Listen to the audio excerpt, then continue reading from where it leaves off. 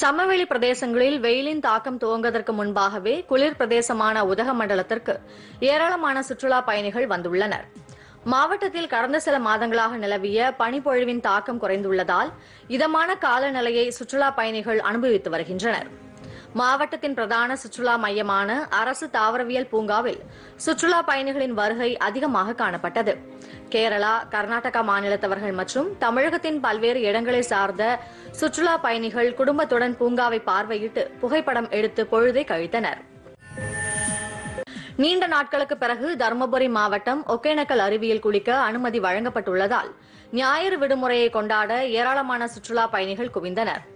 கடந்த ஓராண்டிற்கும் மேலாக கொரோனா பரவல் தடுப்பு நடவடிக்கையாக ஒகேனக்கலில் சுற்றுலா பயணிகளுக்கு மாவட்ட நிர்வாகம் தடை விதித்திருந்தது. தொடர்ந்து வைரஸ் பரவல் கட்டுப்படுத்தப்பட்ட பிறகு ஒகேனக்கலில் பரிசல் பயணம் செல்வதற்கு மட்டும் சுற்றுலா பயணிகளுக்கு அனுமதி வழங்கப்பட்டது. இந்நிலையில் ஓராண்டிற்கு பிறகு கடந்த வாரம் ஆயில் மசாஜ் செய்வதற்கும் அருவியில் குளிப்பதற்கும் மாவட்ட நிர்வாகம் அனுமதி வழங்கியது.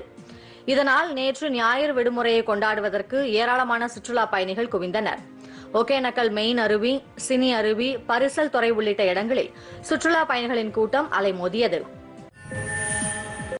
நாகை மாவட்டம் வடக்கு பொய்கை நல்லூரில் அமைந்துள்ள பழமை வாய்ந்த ஸ்ரீ நந்தி நாதேஸ்வரர் ஆலயத்தில் ஊஞ்சல் உற்சவம் வெகு விமர்சையாக நடைபெற்றது. இந்த ஆலயத்தின் மாசி மகா பிரம்மோற்சவ விழாவை ஒட்டி முக்கிய நிகழ்ச்சியான ஊஞ்சல் உற்சவம் வெகு விமர்சையாக நடைபெற்றது.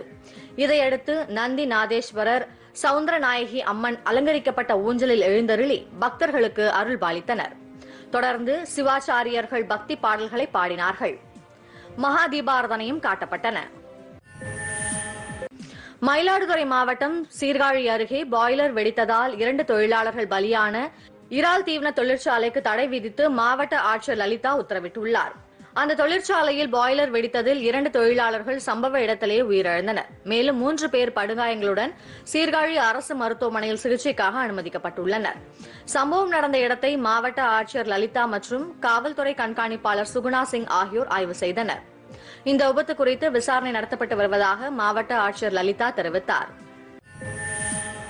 ராஜஸ்தான் மாநிலத்தில் சம்பல் ஆற்றில் கார் கவிழ்ந்து விபத்தில் மணமகன் உட்பட ஒன்பது பேர் உயிரிழந்தனர். கோட்டா மாவட்டத்தில் திருமண நிகழ்ச்சிக்காக மணமகன் தனது நண்பர்களுடன் காரில் பயணம் மேற்கொண்டிருந்தார். அப்போது ஓட்டுநரின் கட்டுப்பாட்டை இழந்த கார் ஆற்றில் கவிழ்ந்து விபத்துக்குள்ளானது. இதில் ஒன்பது பேர் உயிரிழந்தனர். இந்த சம்பவத்திற்கு குடியரசுத் தலைவர் ராம்நாத் கோவிந்த் மக்களவை சபாநாயகர் ஓம் பிர்லா ஆளுநர் கல்ராஜ் மிஸ்ரா முதலமைச்சர் அசோக் கெலாட் உள்ளிட்டோர் ஆழ்ந்த இரங்கல் தெரிவித்துள்ளனர். தொழிலாளர் சேமநல நிதியில் கடந்த டிசம்பர் மாதத்தில் மட்டும் புதிதாக பதினான்கு லட்சத்து அறுபதாயிரம் பேர் சேர்ந்துள்ளனர். இதுகுறித்த தரவுகளை தொழிலாளர் சேமநல நிதி அமைப்பு வெளியிட்டுள்ளது. இதன்படி முந்தைய ஆண்டின் டிசம்பர் மாதத்தை காட்டிலும் கூடுதலாக இரண்டு லட்சம் பேர் இணைந்துள்ளனர். முதன்முறையாக ஒன்பது லட்சத்து பதினோராயிரம் பேர் இணைந்துள்ளதாகவும் ஐந்து லட்சத்து நாற்பத்து ஒன்பதாயிரம் பேர் நிறுவனம் மாறிய நிலையில் பணத்தை எடுத்துக் கொள்ளாமல் வேறு நிறுவனத்தின் கணக்கிற்கு மாற்றிக் கொண்டுள்ளதாக சேமநல நிதி அமைப்பு தெரிவித்துள்ளது.